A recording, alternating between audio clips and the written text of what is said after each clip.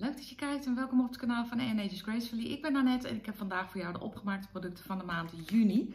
Uh, het is weer een uh, doosje vol.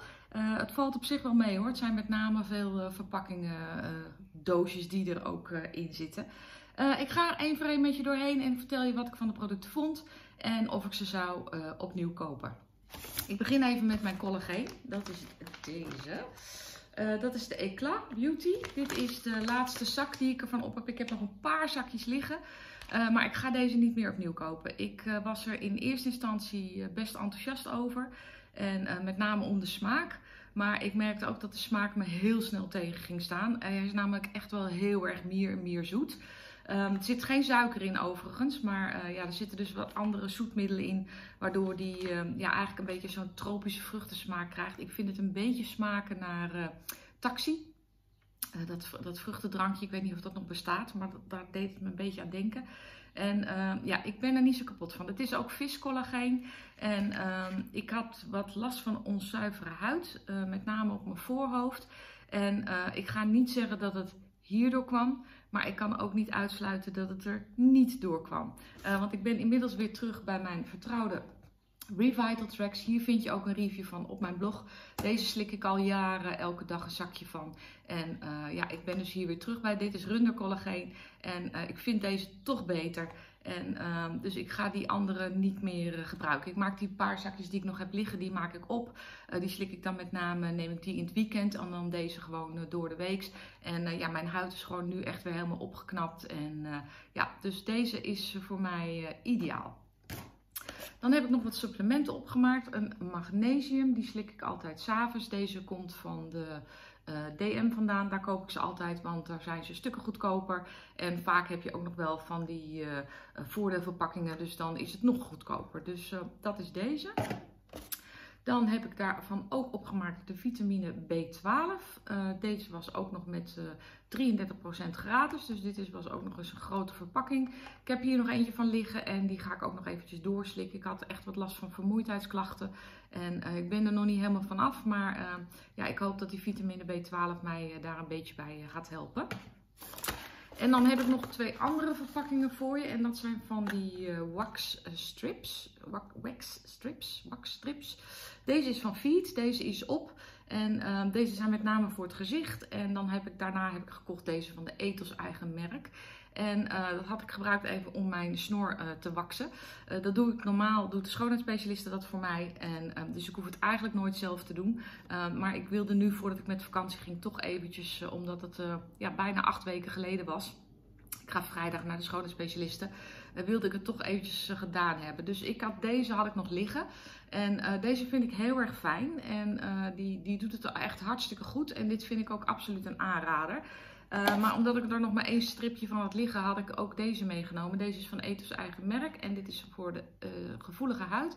Maar ik weet niet of je met een gevoelige huid deze moet nemen. Ik vond deze plakt vrij stevig vast, waardoor je hem, ja, als je hem eraf trekt, trek je echt wel, ja, ik wil niet zeggen je huid kapot, maar ik had wel een klein beetje irritatie er toch van. En, uh, en hij liet iets meer restjes achter, zeg maar. Dus je moest het daarna een beetje schoonboeden. En dat heb ik met die van Feet echt helemaal niet. Die werkt heel schoon, die zit goed op je huid, die trek je zo makkelijk eraf.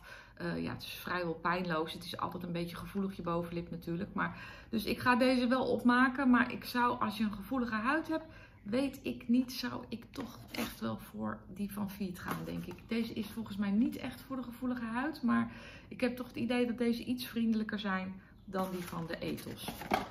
Uh, op vakantie heb ik opgemaakt twee maskers. Het mag in de krant. Uh, ik heb van Beauty Pro opgemaakt het Squalane masker. Die had ik lekker in de koelkast gelegd. Dus als je dan terugkwam van het dagje zwembad, dan kon die lekker koel op je gezicht. En de Real Peach Essence uh, masker. Deze rook ook echt heel lekker, lekker naar persik.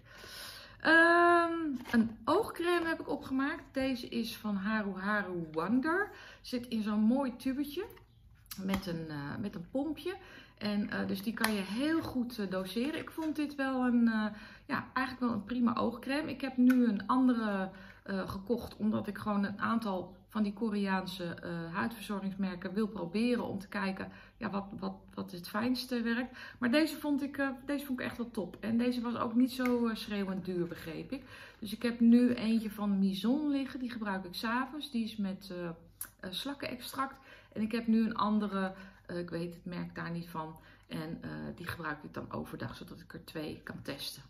Uh, deze heb ik dus overdag gebruikt. Deed het ook prima onder mijn make-up. Verzorgde goed. Zorgde dat het lekker uh, ja, goed doorvoed bleef je huid. En helemaal prima.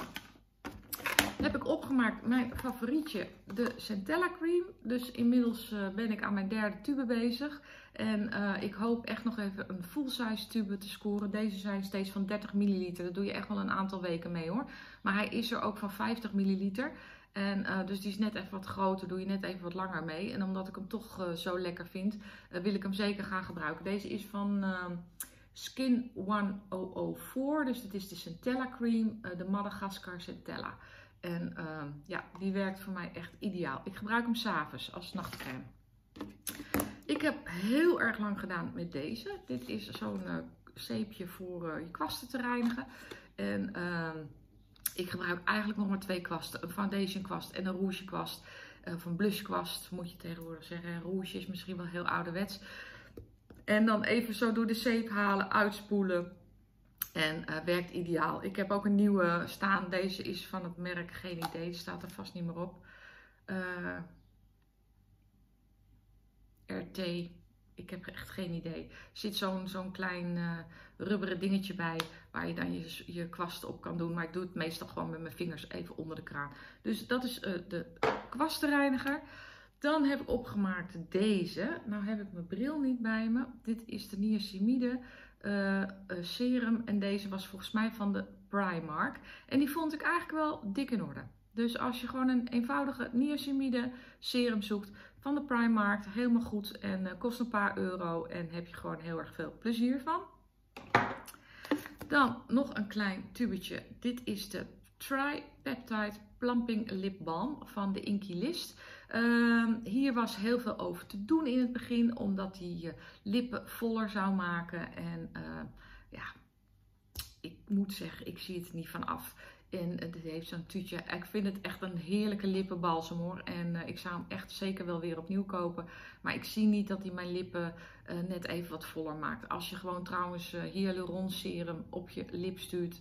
Dat doet eigenlijk hetzelfde. Die geeft ook een beetje dat plumping effect. Ik zat, later de gebruiksaanwijzing te lezen. En er stond van dan moet je hem minimaal drie keer per dag aanbrengen. En um, ja, dat deed ik dan niet. Deze stond, uh, lag bij mij op de bank. Dus dan s'avonds uh, hup, deed, ik even smeren als ik uh, een beetje droge lippen had. En overdag smeer ik dan weer wat anders. Dus, maar prima lippenbalsem. Dan opgemaakt de Haru Haru Wonder toner. Dit is de Black Rice. En deze heb ik ook full size gekocht. Ben ik heel erg over te spreken ook. ook dus uit de Koreaanse skincare routine. En echt heel erg lekker spul. En uh, ik start hier dus morgens mee in de ochtend als ik mijn gezicht gewassen heb. Een klein beetje van deze toner. Je doet hartstikke lang met zo'n flesje, want je hebt maar een paar druppels nodig. Dept het even zo op je gezicht. En het is natuurlijk een heel vluchtig product, dus het trekt heel snel in. En daarna gaat hij gewoon als een malle zijn werk doen. Uh, van Philip Kingsley heb ik opgemaakt die Elasticizer. Die had ik dus ook mee op vakantie. Heb ik twee keer een haarmaskertje mee kunnen doen. Die is op. En dan heb ik tot slot nog deze gaat weg. Dit is mijn uh, foundation kwast van de Real Techniques. En die is echt op. Deze heb ik jaren en jaren gebruikt. Maar ja, de haartjes worden nu echt wel dusdanig slecht dat die weggaat. Dus die heeft zijn dienst wel bewezen. Ik heb nu een andere kwast, had ik toevallig nog liggen. Uh, geen idee van welk merk die is. Volgens mij van geen merk. Die heb ik een keer ergens bij gekregen. Die is ook prima. En tot slot zo'n hand sanitizer.